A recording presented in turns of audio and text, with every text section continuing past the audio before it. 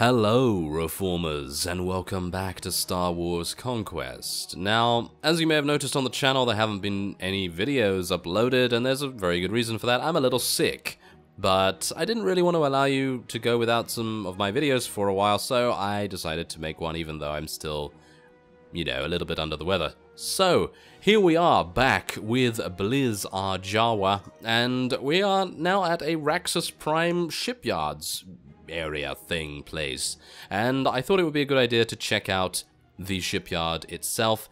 As you can see, you currently don't own a spaceship. Well, we well, kind of we do, but not really. So this is one of the cooler things about Star Wars Conquest itself and the mod, obviously, because you can buy a variety of different things. You can get a Lambda class T-4A shuttle, you can get an Imperial trade frigate, which actually is pretty nice. As you can see, it has a de decent base speed and lots of space for either troops or cargo. Now, this can actually determine, as far as I'm aware, how much capacity you have for troops and actually having cargo. So if you want to trade, then that's definitely the way to go. Obviously, these things, uh, there's a T-Wing as well. It's got good weaponry and powerful drives. Obviously, uh, it doesn't have any cargo or anything like that. As a Jawa, I think we are probably going to go for the Imperial Trade Frigate. However, as you can see, I already kind of gave myself a good amount of money, and I thought, oh yeah, this is going to be enough. This is going to be enough to give me something good. But unfortunately, I need another 20,000, so we're gonna we're gonna go and do that. Oh, here we go. We can actually apply for a loan. All loans run for 30 days. You'll need to repay your loan before that time runs out. Well, let's do it. Take a loan of 5,000. Oh no, I don't want to repay it. Oh, oh, oh no, a loan of 5,000. Is that it? Really? Okay, well, there are some merchants here as well that I thought we might want to check out.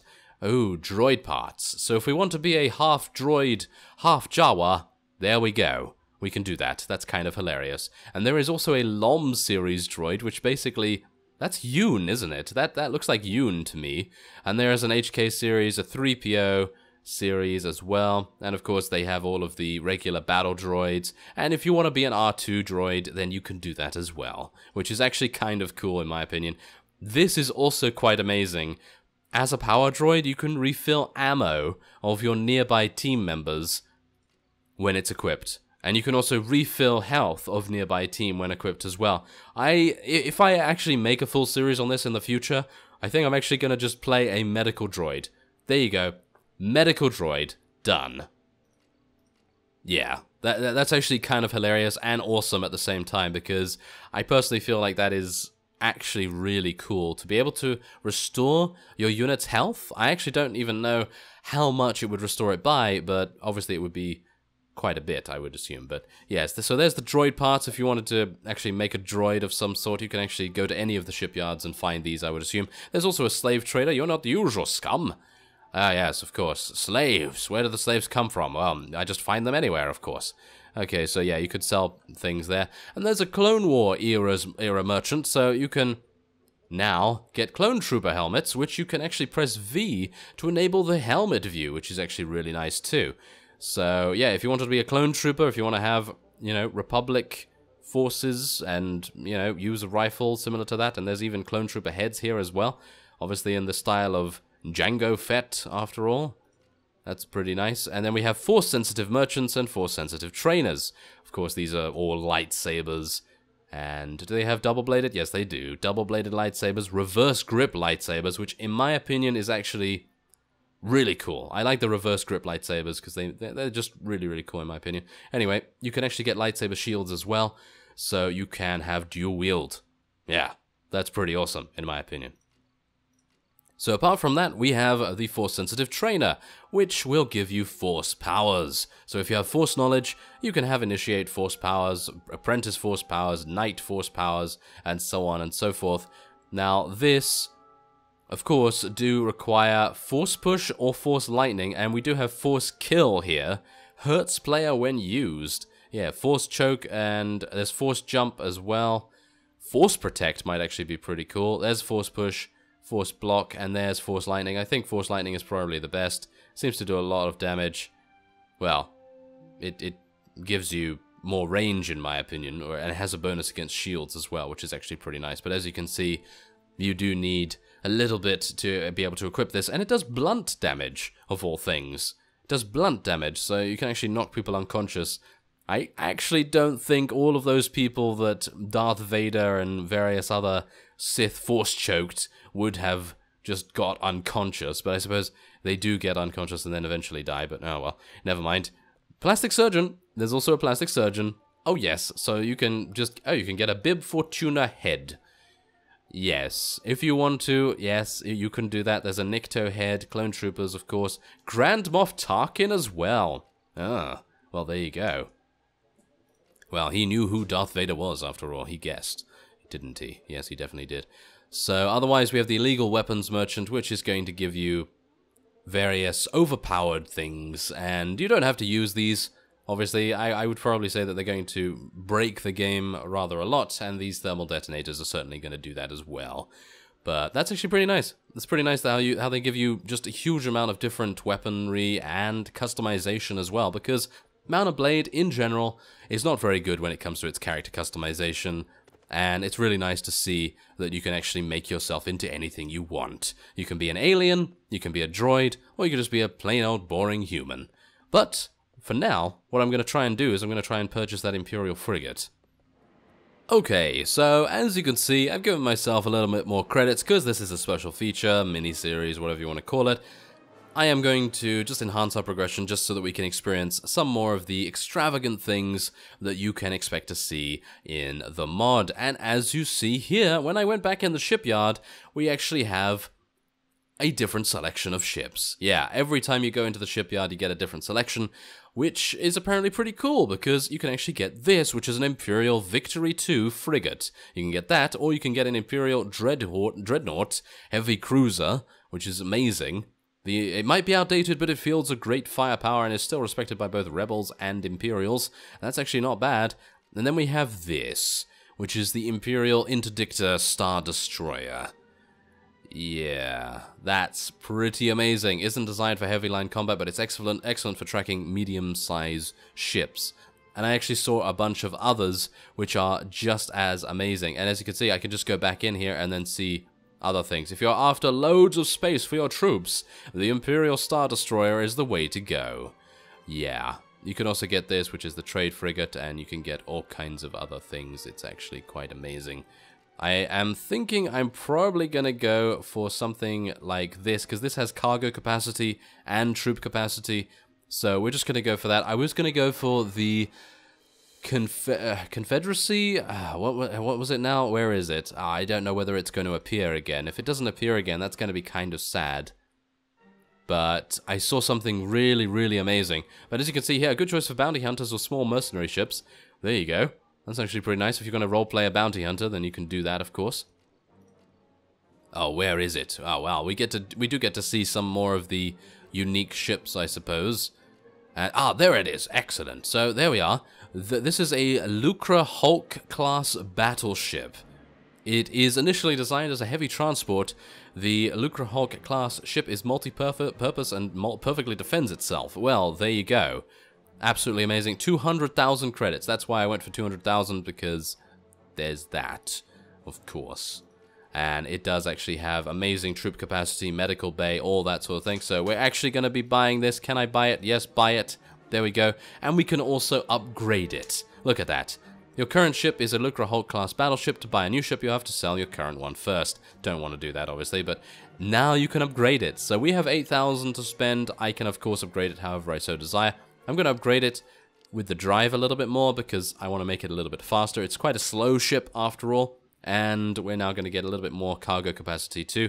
So there you go. So now I should have, I actually don't know how that affects us quite, but we can walk around our ship if we so desire. Which might, what might actually be pretty cool, but faction Management options. Recruit a new commander. Your faction currently has zero generals. Manage your territories. Well, we currently don't have any territories, unfortunately, but as you see, there's actually huge amounts of depth to this. There's even holocrons to find as well, which I'm pretty sure is, is, is pretty amazing. There's random assassination attempts. Of course, you can change your colors, your faction colors and everything, and there's random scene attacks as well. So there is just so much to do here. Obviously, we've already seen the change your race. You can modify your banner, sort your inventory, and even upgrade your troops. No one can upgrade. Yeah. But I I think that's fine. I think that's pretty good. Let's walk around, shall we? Let's walk around. So let's go to let's go to the command bridge because I want to see if it actually changes dependent on the ship you have. It doesn't seem to change, but that's perfectly fine because obviously they've already made a scene to represent it, which I have to say is... Okay, well, there's a slight issue here. there is a slight issue. Walk into the Bacta tank to heal yourself. Well, I will do that, but I would like to be able to see what's actually going on here, so... Ah, yes, it seems to have bugged out once again, but where is the Bacta tank? Here? Is, is this it? No? You're being healed by the Bacta tank. Really? Wow. Whoa, that's cool. That is cool. So if you don't want to wait on the battle map, you can actually just go into your ship and heal yourself without having to wait. And that is very, very useful because if you're going to do a siege or if you're going to do shall we say, a more up-to-date modern term dependent on yeah, Star Wars terminology, if you're going to attack a planet and attempt to blow it up or something, then you are, and, and you have huge amounts of enemies surrounding you, you probably don't want to wait too long, do you? No, you don't want to wait too long, so that's actually pretty nice. And what's actually going on there? Rebel Alliance! Hello, Rebel Alliance! Uh, well, I'm going to head on over here. As you can see, our sprite on the main map has now changed as well, which I've gotta say is very cool. Because usually when, when you get a new horse, or when you get something that's new that is to do with your travel, nothing changes. But they, they, they change it here. They change it here, and that's really, really nice. So there is a ransom broker here. I would like to speak and hire some soldiers. Here we go. Let's hire some people. Well, that's actually, that's the thing. I can't actually hire anyone, can I? Well, that's kind of sad, isn't it? Well, I think I'm actually, what I'm to do is I'm going to try and get some more money. I'm going to actually just give myself some more money. And then I'm going to recruit as many people as I can from as many places as I can. And then we're going to try and attack a rather large party of... Hmm, shall we go for the rebels or shall we go for the Empire? I think we'll probably attack the rebels and then we'll maybe go for the Empire after that. Alright, so I have spent many days getting all of these troops ready, as you can plainly see by my It's morning on day one of your adventure. Yes, as you can see, I did not do any kind of cheating. Oh, no way, I did this all legit. With my spreadsheet, of course.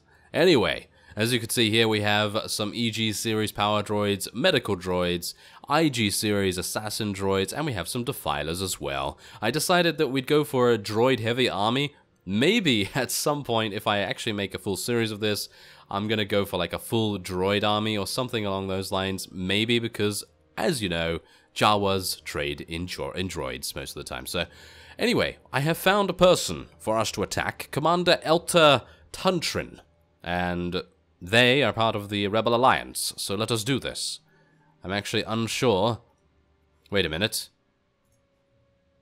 Ah, apparently they might have gotten some assistance from those fellows over there, so I don't really want to do that, but I would like to attack them now.